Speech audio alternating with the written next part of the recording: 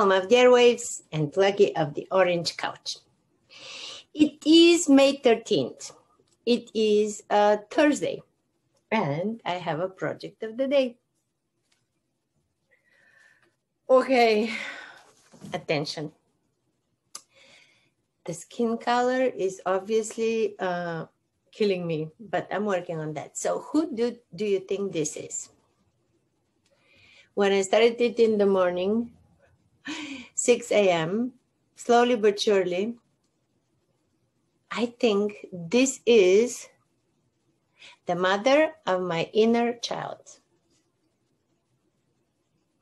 Honestly, okay. In this pandemic, uh, now that we're left to ourselves, if we live alone, uh, who else to smother but ourselves?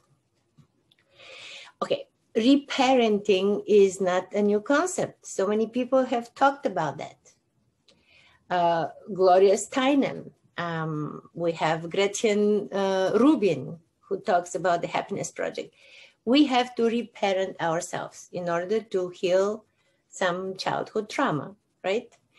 So next to smothering Lucky, uh, I decided to uh, be the, the, the, the best mother to my inner child.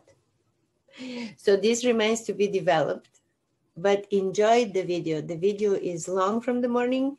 It was a beautiful morning on the beach. Finally temperature in, I don't know, in the teens, 16. And we'll see you tomorrow. Tomorrow is already Friday. Time is flying, so lose no time. Enjoy your life.